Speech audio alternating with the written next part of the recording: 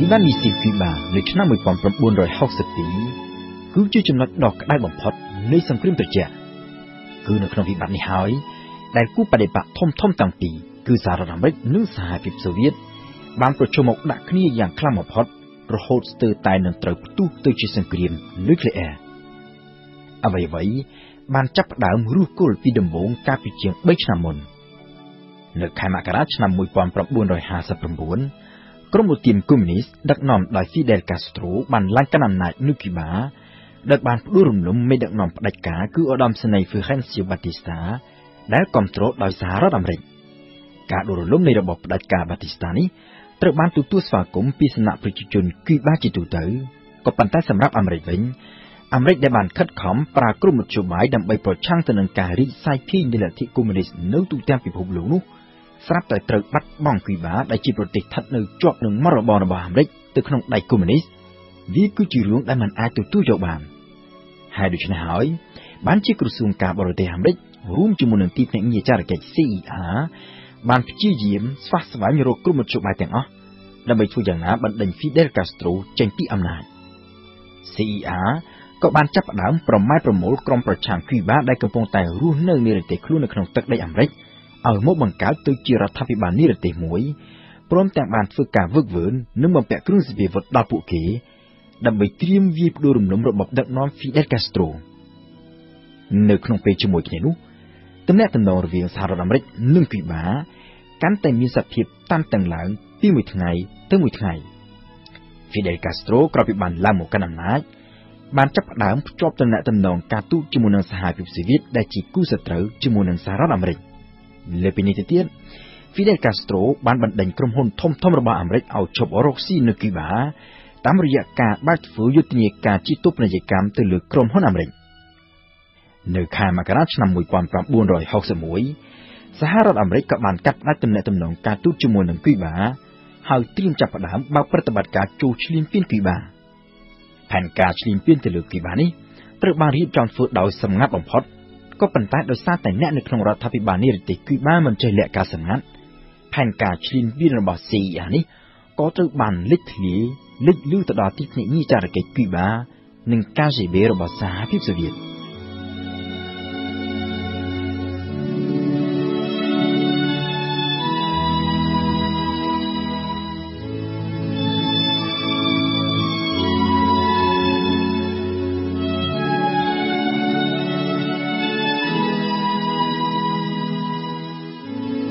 នៅយប់ថ្ងៃទី14ឈានចូលថ្ងៃទី15ខែមេសាឆ្នាំ1961យន្តហោះចម្បាំងអាមេរិកចំនួន8គ្រឿងដែលត្រូវបានគេលាបពណ៌និងដោតទង់ជាតិរបស់រដ្ឋាភិបាលនិរទេសគូបាបានបើកការវាយប្រហារទៅលើមូលដ្ឋានទ័ពអាកាសរបស់គូបាដើម្បីជាការបើកផ្លូវសម្រាប់ការវាយលុកតាមជើងគោកក៏ប៉ុន្តែប្រតិបត្តិការជំហានទី1នេះត្រូវទទួលបរាជ័យដោយសារតែគូបាបានដឹងជាមុនហើយបានជំនះយន្តហោះចម្បាំងទាំងអស់ចេញពីទីតាំង ដែលជាចំណុចស៊ីបរបស់អាមេរិកពីថ្ងៃក្រោយមកទៀតនៅយប់ថ្ងៃទី16ឈានចូលថ្ងៃទី17មេសាប្រតិបត្តិការដំណាក់កាលទី2ក៏បានចាប់ផ្ដើមឡើងដោយកងកម្លាំងរដ្ឋាភិបាលនិរទេសគូបាដែលមានគ្នាប្រមាណជា1500នាក់បានបើកការវាយប្រហារចូលឈ្លានពានគូបា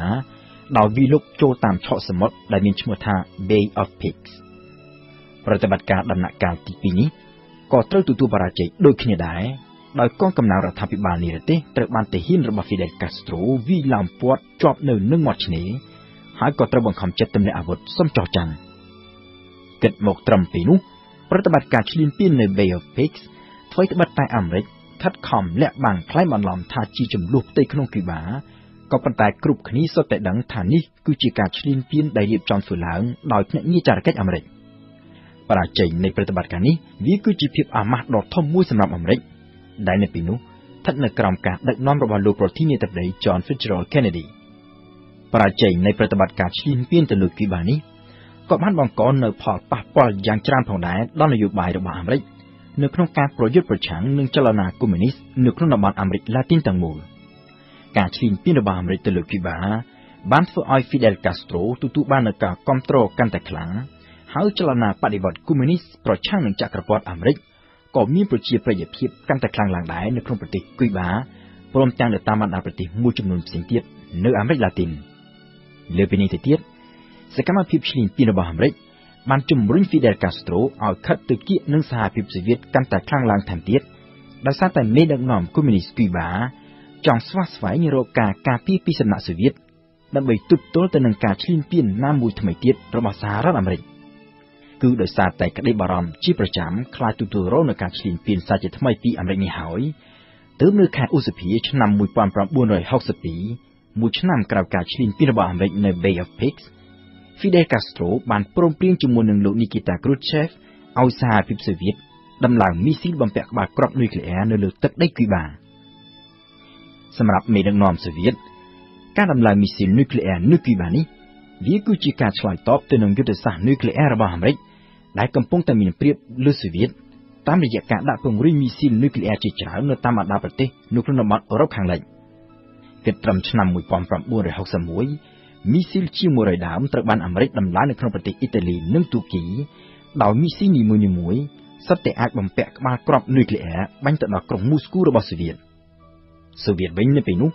មានមីស៊ីលតែ20ដើមប៉ុណ្ណោះដែលអាចបំពាក់ក្បាលគ្រាប់នុយក្លេអ៊ែរបាញ់ទៅដល់ទឹកដីសហរដ្ឋអាមេរិកបាន មីស៊ីលតែ20ដើមនោះគឺជាមីស៊ីលអន្តរជាតិដែលត្រូវបាញ់ចេញពីទឹកដីសូវៀតហើយដែលមិនសូវជាមានប្រសិទ្ធភាពក្នុងការបាញ់ឲ្យចំទិសដៅដោយសារតែនៅពេលនោះបច្ចេកវិទ្យាមីស៊ីលអន្តរជាតិរបស់សូវៀតមិនទាន់ជឿនលឿនគួរឲ្យទុកចិត្តបាន100%នៅឡើយដូច្នេះការដំឡើងមីស៊ីលនុយក្លេអ៊ែររយៈចម្ងាយមធ្យមនៅក្នុងទឹកដីគីបាក្បែរសហរដ្ឋអាមេរិកវាគឺជាឱកាសល្អមួយឲ្យសហភាពសូវៀតអាចស្វែងរកតុល្យភាពកម្លាំងទ័ពនុយក្លេអ៊ែរជាមួយនឹងសហរដ្ឋអាមេរិក Fidel Castro វិញយល់ថាការដំឡើងមីស៊ីលនុយក្លេអ៊ែរនៅលើទឹកដីគីបាវាគឺជាមធ្យោបាយដ៏ល្អមួយដើម្បីកំញាញ់អាមេរិកកុំឲ្យបើកការឈ្លានពានទៅលើគីបាសាជាថ្មីម្ដងទៀតក៏ប៉ុន្តែសម្រាប់សហរដ្ឋអាមេរិកវិញវត្តមានមីស៊ីលនុយក្លេអ៊ែរសូវៀតនៅគូបាដែលមានចម្ងាយប្រមាណតែជាង100គីឡូម៉ែត្រពីរដ្ឋ Florida វាគឺជាការគំរាមកំហែងដ៏ធំបំផុតសម្រាប់សន្តិសុខជាតិដែលអាមេរិកត្រូវតែប្រើគ្រប់មធ្យោបាយទាំងអស់ដើម្បីកម្ចាត់ចោល វិបត្តិមីស៊ីលគូបាក៏បានចាប់ផ្ដើមផ្ទុះឡើងបង្កឲ្យមានការប្រជុំមុខដាក់គ្នាខាងផ្នែកយោធាយ៉ាងខ្លាំងបំផុតរហូតស្ទើរតែត្រូវផ្ទុះទៅជាសង្គ្រាមនុយក្លេអ៊ែរនៅខែតុលាឆ្នាំ1962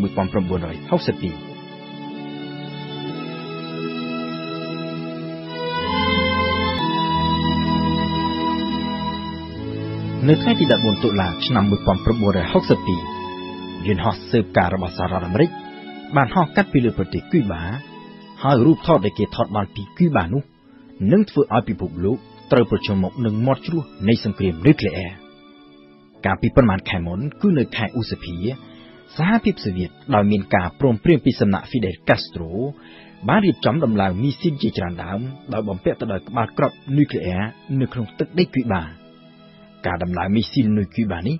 ត្រូវបានធ្វើឡើងនៅក្នុងគោលដៅធំធំពីរទី1 គឺដើម្បីកំញាយសហរដ្ឋអាមេរិកកុំឲ្យចូលឈ្លានពានគូបាក្រោយពីអាមេរិកធ្លាប់បានចូលឈ្លានពានម្ដងរួចមកហើយកាលពីខែមេសាឆ្នាំ1961កន្លងទៅក៏ប៉ុន្តែត្រូវទទួលបរាជ័យគោលដៅសំខាន់ទី2គឺដើម្បីឆ្លើយតបទៅនឹងយុទ្ធសាស្ត្រនុយក្លេអ៊ែររបស់សហរដ្ឋអាមេរិកដែលបានដាក់ពង្រាយមីស៊ីលនុយក្លេអ៊ែរជាច្រើនដើមនៅអឺរ៉ុបខាងលិចជាពិសេសគឺនៅក្នុងប្រទេសទូគីដែលជាប្រទេសមានព្រំដែនជាប់នឹងសហភាពសូវៀត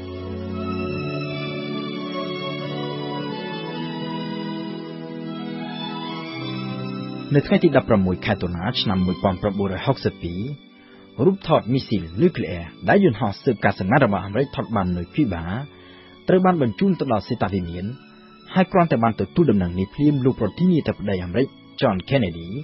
ក៏បានកោះប្រជុំមន្ត្រីចំណិតចំណិតជាបន្ទាន់ដើម្បីពិភាក្សាគ្នាអំពីវិធានការតបតទៅនឹងការដំឡើងមីស៊ីលសូវៀតនៅគូបានេះសម្រាប់រដ្ឋការរបស់លោក John Kennedy មីស៊ីលនុយក្លេអ៊ែរសូវៀតនៅលើទឹកដីគូបាដែលស្ថិតនៅចម្ងាយតែប្រមាណជាង100គីឡូម៉ែត្រពីទឹកដីអាមេរិកវាគឺជាការគំរាមកំហែងដ៏ធំបំផុតដល់សន្តិសុខជាតិអាមេរិកដែលជារឿងមួយមិនអាចទទួលយកបានជាដាច់ខាតដូច្នេះអាមេរិកចាំបាច់ត្រូវតែប្រើគ្រប់មធ្យោបាយទាំងអស់ដើម្បីធ្វើយ៉ាងណាកម្ចាត់មីស៊ីលនុយក្លេអ៊ែរសូវៀតឲ្យចេញពីគូបាជំរើសជាច្រើនត្រូវបានមេតបអាមេរិកដាក់ជូនលោកប្រធានាធិបតី John Kennedy ធ្វើការសម្រេចនៅក្នុងនោះ ក៏រួមមានផងដែរការបើកការវាយប្រហារតាមផ្លូវអាកាសទៅលើទីតាំងមីស៊ីលនិងការវាយលុកចូលឈ្លានពានគូបាដោយពេញទំហឹងក៏ប៉ុន្តែនៅទីបំផុតលោកប្រធានាធិបតី John Kennedy ដែលចង់បញ្ជិះសង្គ្រាមនុយក្លេអ៊ែរជាមួយនឹងសហភាពសូវៀតក៏បានសម្រេចជ្រើសរើសវិធានការតបតជាដំណាក់កាលដោយចាប់ផ្ដើមដំបូងពីការឡោមព័ទ្ធឆ្នេរសមុទ្រគូបាដើម្បីទប់ស្កាត់កុំឲ្យសូវៀតដឹកជញ្ជូនមីស៊ីលនុយក្លេអ៊ែរបន្ថែមទៀតចូលទៅក្នុងប្រទេសគូបាហើយជំហានបន្តមកទៀត លោក Kennedy គ្រោងនឹងដាក់អសានវិទ្យឲ្យសូវៀតដកមីស៊ីលទាំងអស់ចេញពីប្រទេសគូបាទៅវិញក្នុងពេលជាមួយគ្នានោះលោក Kennedy ក៏បានដាក់បញ្ជាផងដែរឲ្យមេតបអាមេរិកបន្តរៀបចំផែនការវាប្រហារលើទីតាំងមីស៊ីលនិងផែនការវិលុកចូលឈ្លានពានគូបាដើម្បីបំរុងទុកជាជំរឿសចុងក្រោយ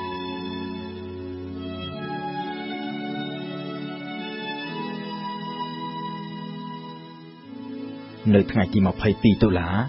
លោកប្រធានាធិបតីអាមេរិកបានធ្វើសេចក្តីថ្លែងការណ៍តាមទូរទស្សន៍ដើម្បីប្រាប់ដល់ពលរដ្ឋអាមេរិកទាំងអស់ឲ្យដឹងអំពីវត្តមានមីស៊ីននុយក្លេអ៊ែរសូវៀតនៅគូបានិងប្រកាសជាសាធារណៈអំពីវិធានការរបស់អាមេរិកក្នុងការដាក់ពង្រាយនាវាចម្បាំងឡោមព័ទ្ធជុំវិញកោះគូបានៅក្នុងពេលជាមួយគ្នានោះលោកប្រធានាធិបតីអាមេរិកក៏បានសង្កត់ធ្ងន់ផងដែរថាលោកត្រៀមខ្លួននឹងប្រើកម្លាំងទ័ពប្រសិនបើចាំបាច់ ដើម្បីកម្ចាត់មីស៊ីលនុយក្លេអ៊ែរសូវៀតឲ្យចេញពីគូបាការប្រជុំមកដាក់គ្នារវាងសហរដ្ឋអាមេរិកនិងសហភាពសូវៀតបានកើនឡើងដល់កម្រិតកំពូលនៅថ្ងៃទី24ដុល្លារនៅពេលដែលនាវាចម្បាំងសូវៀតជាច្រើនគ្រឿងបានបើកទៅជិតដល់គូបាហើយលោក Nikita Khrushchev មេដឹកនាំសូវៀត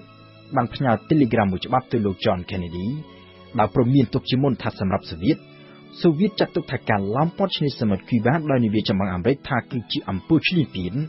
ហើយថានាវាចម្បាំងរបស់សូវៀតនឹងបើកទំនាយខ្សែត្រៀមអាមេរិកដើម្បីចូលទៅប្រទេសគូបា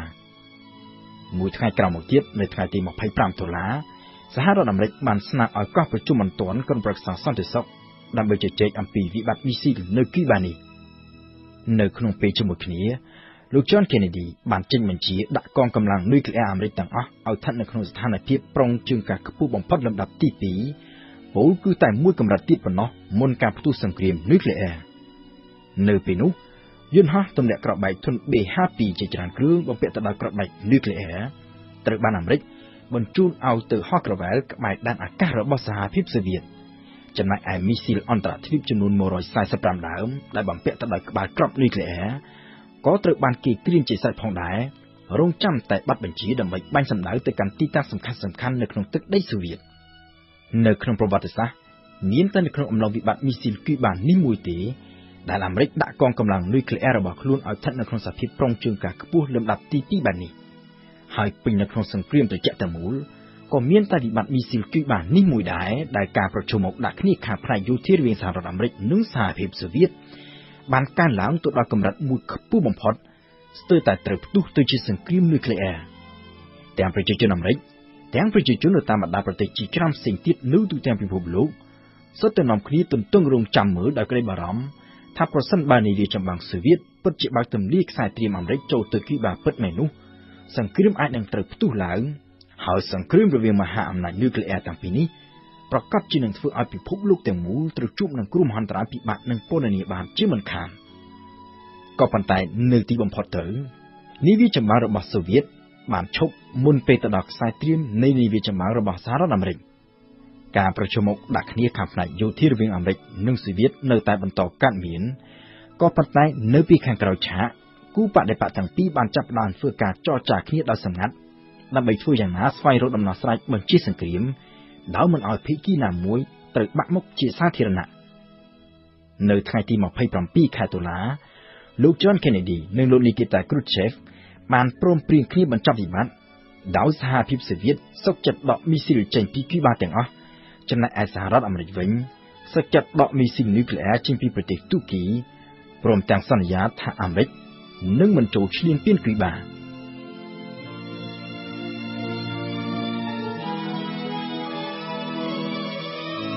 នៅទីបំផុតអ៊ីបានមីស៊ីលគូបាដែលមានរយៈពេល13ថ្ងៃក៏ត្រូវបិទបញ្ចប់ ហើយសង្គ្រាមនុយក្លេអ៊ែររវាងមហាអំណាចទាំងពីរក៏ត្រូវគេបញ្ជាបានក៏ប៉ុន្តែគ្រោះថ្នាក់នៃសង្គ្រាមនុយក្លេអ៊ែរដែលបង្កឡើងនៅក្នុងវិបត្តិនេះបានជំរុញឲ្យសហរដ្ឋអាមេរិកនិងសហភាពសូវៀតសម្រាប់បង្កាត់បណ្ដាញទំនាក់ទំនងពិសេសមួយដែលគេច្រើនតែហៅថាទូរស័ព្ទក្រហមតបភ្ជាប់រវាងទីក្រុង Washington និងទីក្រុង Moscow ដើម្បីឲ្យមេដឹកនាំប្រទេសទាំងពីរអាចជជែកពិភាក្សាគ្នាដោយផ្ទាល់នៅក្នុងពេលមានការប្រជុំមុខដាក់គ្នាដូចជាក្នុងវិបត្តិមីស៊ីលគូបានេះទៀតដើម្បីធ្វើយ៉ាងណា បញ្ជាកុំឲ្យការប្រជុំមុខដាក់គ្នានេះរៀលដាលទៅជាសង្គ្រាមទ្រង់ទ្រាយធំ។